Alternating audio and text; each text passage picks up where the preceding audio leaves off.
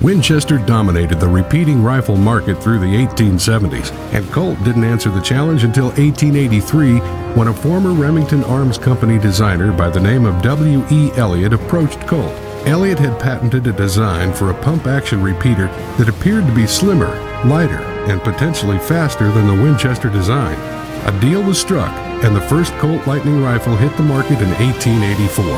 The new Lightning was fast, good looking, and chambered in 4440, the most popular pistol round offered in Colt's 1873 single action revolver. The Lightning rifle from Uberti is available in 45 Colt or 357 Magnum in 10 different models, all with luster finished walnut stocks and a choice of blued or classic color case hardened finish.